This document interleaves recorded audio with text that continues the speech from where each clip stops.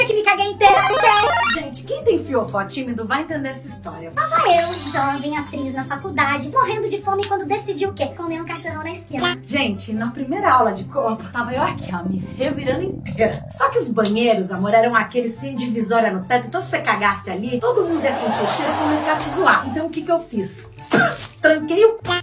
e da aula. Peguei o carro, amor, e voltei pra casa. No meio do caminho tinha um bloco de carnaval, era uma sexta-feira de carnaval, entendeu? E eu com aquele calor, amor, aquela vontade de cagar aumentando, o trânsito parado, pensei, preciso soltar um pum, só que assim, nunca é só um pum. Tive a brilhante ideia. Vou colocar a toalha aqui, amor, pra ter um mínimo de segurança. Soltei o pum. Fez o pum. No que fez, pum.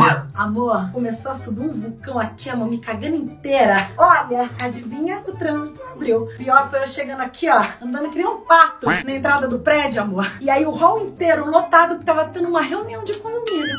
Nunca me esquecer.